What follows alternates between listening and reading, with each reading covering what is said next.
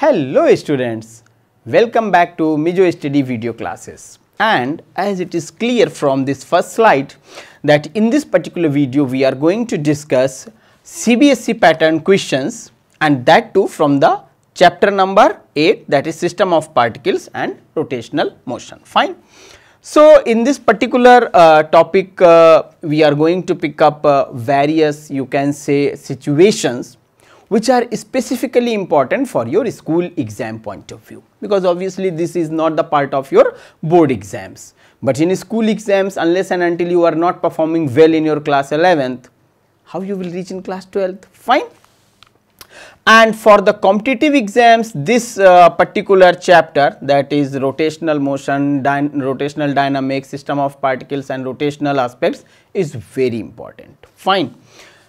So, uh, I am starting this discussion here comes the first question.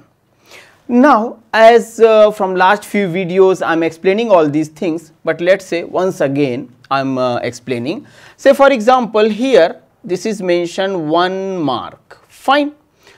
So, in your school exams what will happen? The same old story, few questions very short, 1 marks, then 2 marks, then 3 marks, then 4 or 5 marks, then HOTS category high order thinking skills fine. So, those questions are slightly different. So, what we tried in this particular video where there is a collection of 10 questions or so, we tried our best to incorporate each and every category. Reason is simple. Here I am not only explaining the answer, but I am also explaining you the method, how you should answer. Say for example, this category that is very very important category just one mark. So, here you have to write down few words maybe sometimes just one word and you will get full marks.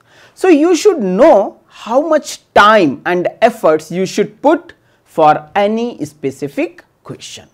If it is for 5 marks, you should provide to uh, explain the diagram, uh, definitions, uh, you, you can use colorful pencils. But if it is 2 marks or so, you have to simply write down 1 or 2 lines, that is it, fine. So, let us start this first question. Does center of mass of a rigid body lie always on the body? So, it is the very fundamental question, fine. The question is about center of mass. Is it like that center of mass always lie on the body, in the body, within the body? Answer is no. Fine. Now, for example, consider the case of ring. Ring means like this. Where is the center of mass? This way.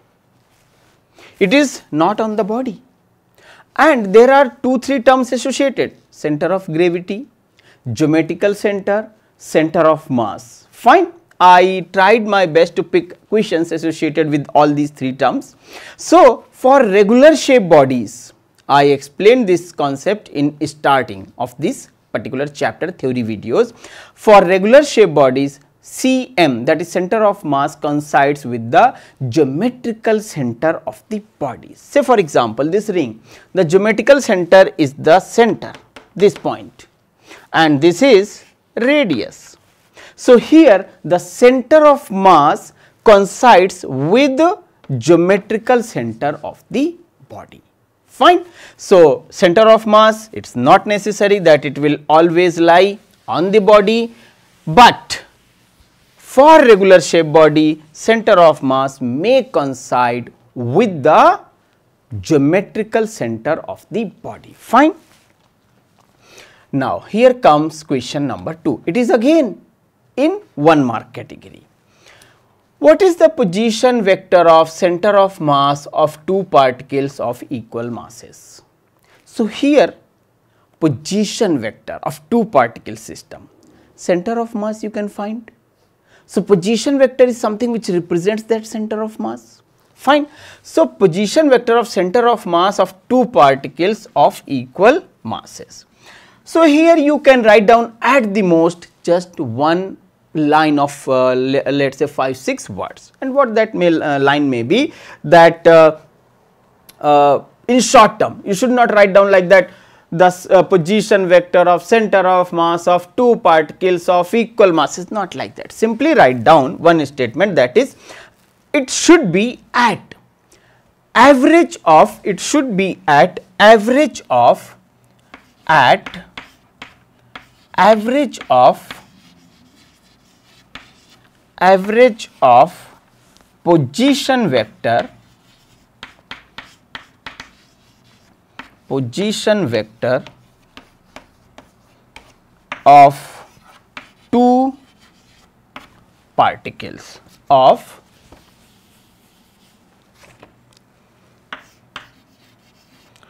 two particles at average of position vector of two particles. So, this answer is more than enough about this one mark question. Fine.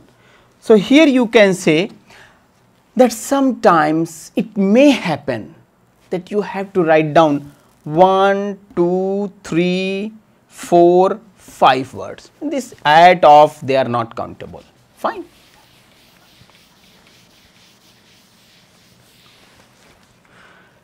Then comes this question number 3 and here what is important this 2 marks. So, question number 3 and 4 each with 2 marks. So, it is like that in this particular uh, question you have to write down maybe a line or so 7 to 10 words or something like that. Why do we prefer to use a wrench with a long arm? It is like that suppose I want to open the screw of uh, the wheel of my car let us say it got punctured. So, I need a different type of device that is known as wrench, wrench or uh, a device which is used for opening the nut bolts of the wheel so that we can detach it another stepney we can attach fine. So, uh, question is long arm okay long arm. Suppose you want to open a screw of a small device let us say mixer juicer. So, you need a wrench which is long enough so that you can operate it properly. What exactly the cause? If the screwdriver is of very short length, it is not going to be easy for you to open the screw. The cause is simple, fine, because it is rotational motion and in rotational motion important is not force, important is what? Important is torque, fine. Torque is what? Force cross product with the position vector perpendicular to that point, fine. So, the answer is tau is equal to r cross f. Now, f is something that I am applying and there is a limit for f for me. Now, if I increase the r, then torque is going to be more. So, more torque easily I can tight or untight the screw fine. So, because of this reason because of this formula because of this term we can easily open. Consider the case of the room in which you are right now watching my video. I am sure there is a door and the handle of the door to open the door is at the one extreme and the clippings which is attaching the door with the wall is at another end. Imagine you fix the handle at the mid of the door. So, therefore, important is torque and this distance fine. So, long arm is required. You can perform this experiment in your house or in your laboratory. So, this one is very simple question, but very important also this basic concept. Then comes question number 4. What is the dimensional formula of angular momentum and what are its units? Is it a scalar? Now, you may say Sir, there are three parts of this question and only two marks? Yes, because this is a simple question and these type of questions are there just to you can say utilize your time. Fine. Reason is simple. You cannot remember all the dimensional formulae. So, you have to drive them at least 2 3 lines and then units kilogram, meter per second per like that and then you have to mention whether it is a scalar quantity or a vector quantity. So, angular momentum, angular momentum in general is represented by two quantities, fine.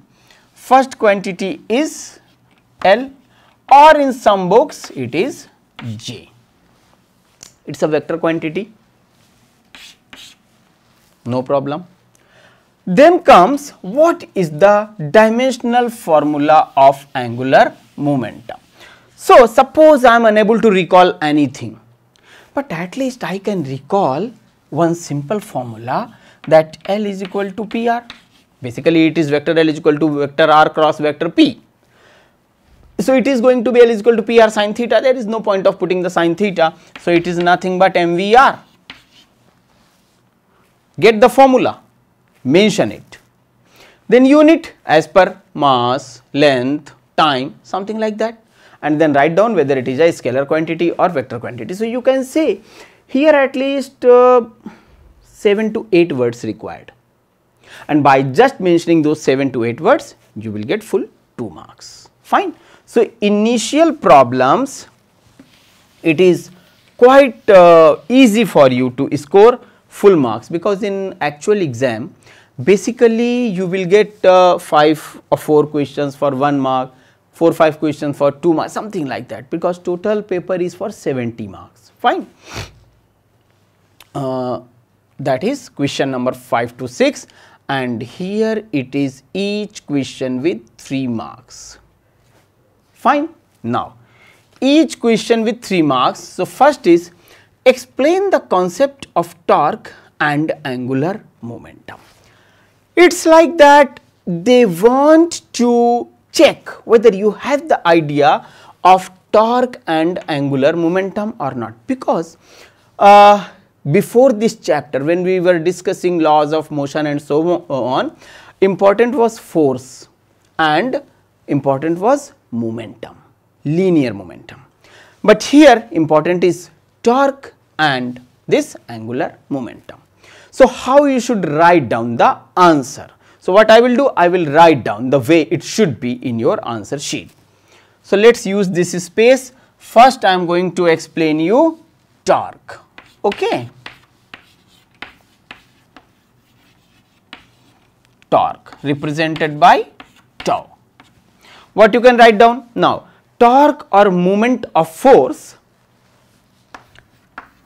torque or movement no movement movement of force gives turning effect torque or moment of force gives turning effect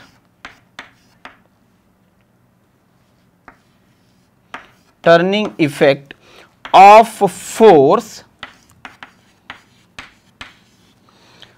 about a fixed point about a fixed point. Fine? So this is the definition this is the explanation you can mention about torque. And if you have time you can also mention like tau is equal to r cross sorry capital F. And the units accordingly you can mention. You can also mention the dimensional formula. So, that is added value. So, now the teacher cannot deduct anything out of this 3 one and half marks you got. Similarly, we will talk about second aspect that is angular momentum.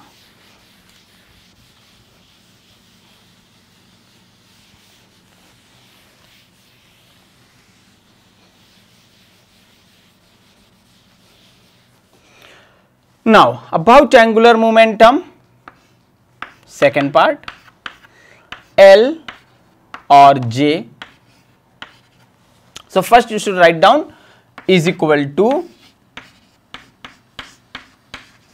fine where p is linear momentum r is perpendicular distance of line of action. So, what you can say it is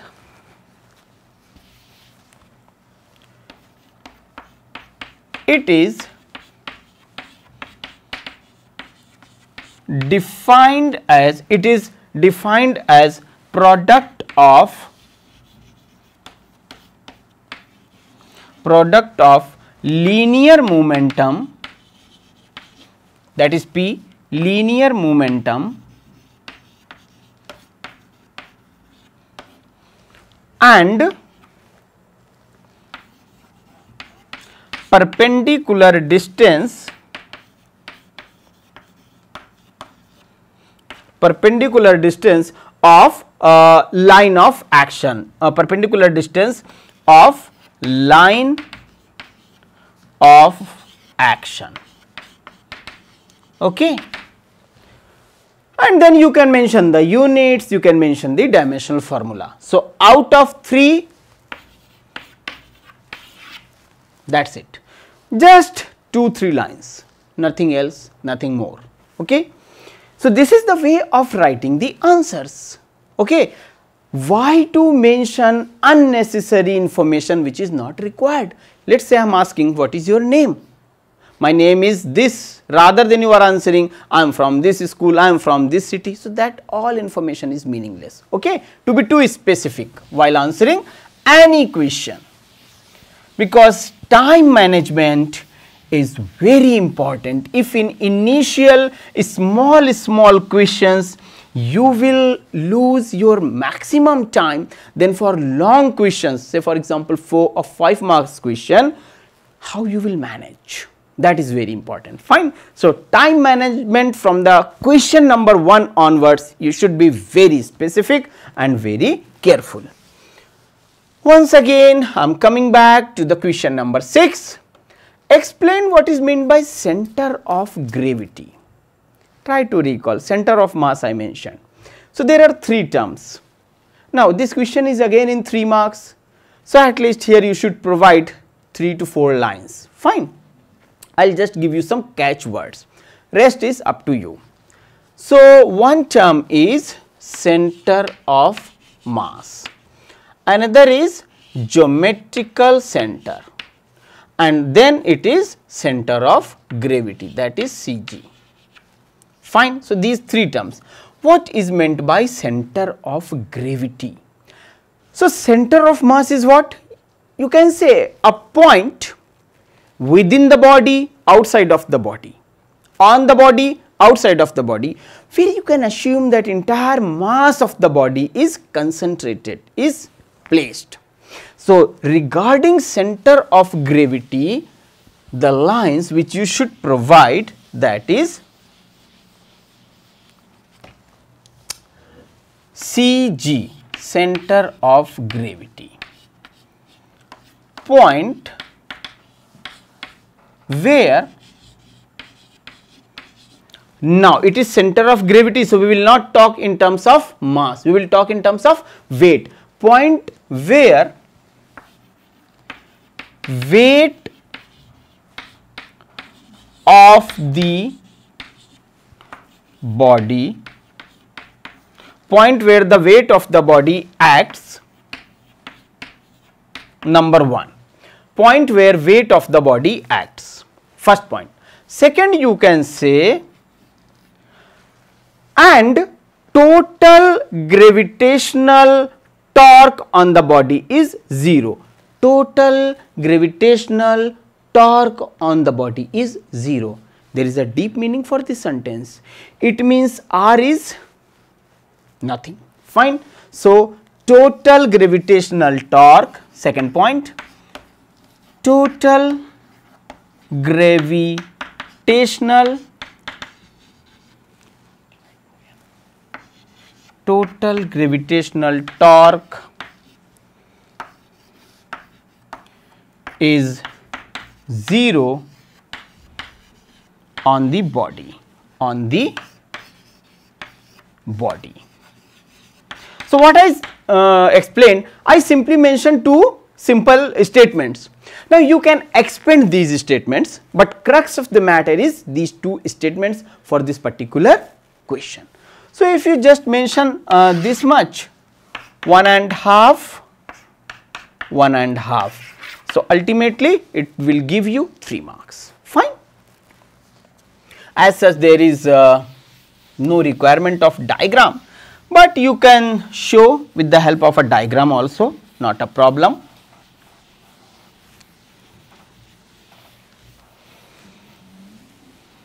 Now, let us come for the question number 7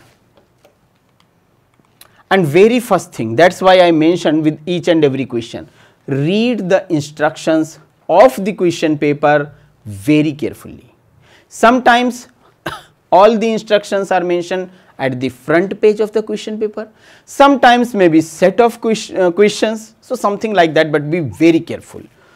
So, this is the question number 7 here basically my idea of putting this question was to give you some feel of this chapter that is why I mentioned.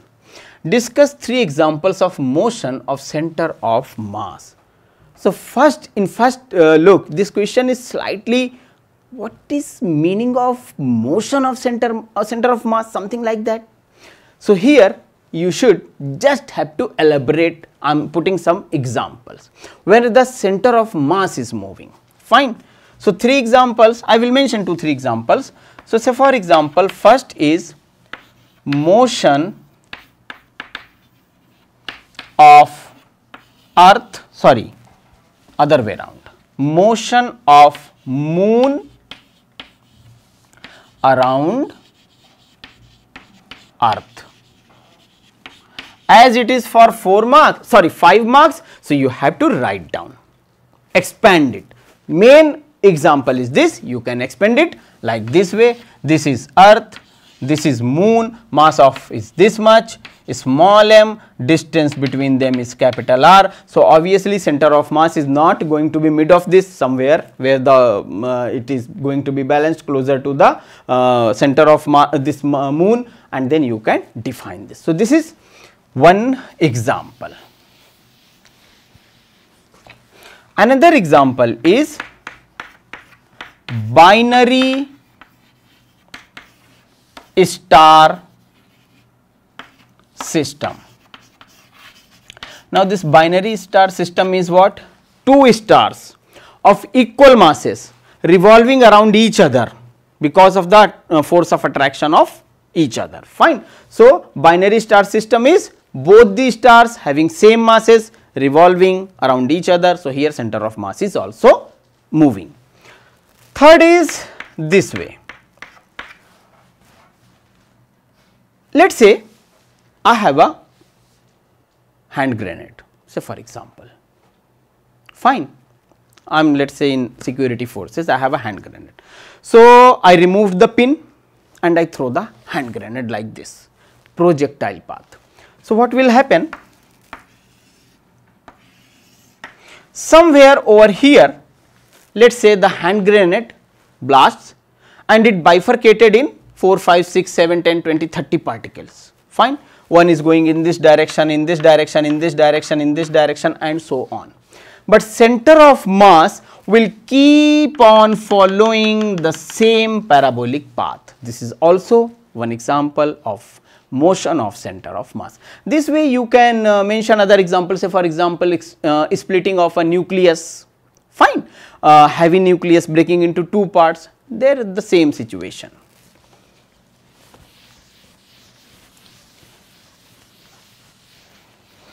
Then comes your question number 8. Discuss the physical meaning of angular momentum. Now, already at least twice I mentioned this angular momentum idea. Here this question is for 3 to 5 marks. So, here you just have to draw some diagram, you have to mention the definition, fine and then you have to write down this is pure theoretical question and more critical aspect of these type of questions is like that let us say for this question is under the category of 4 marks. So, even if you write down it very properly, still more than 3 marks not possible unless and until it is exceptionally good with a colorful diagram and mentioning like that. So, for these type of questions my simple suggestion idea of this uh, quantity concept everything I explained please do some practice okay.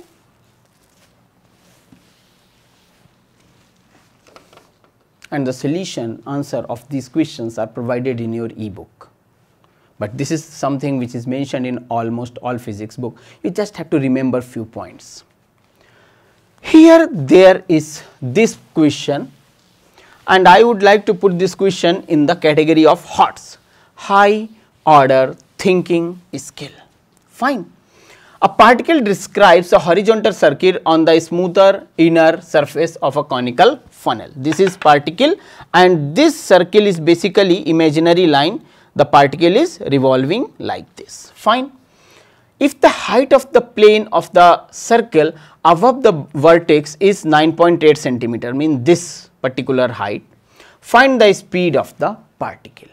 So, why I am saying this is in the category of HOTS you have to apply Newton's laws of motion free body diagram and all these things fine. So, here I am just providing you the solution if in 4 marks this question is there you have to complete the diagram and then write down the equations. I will do the same thing but in shortcut.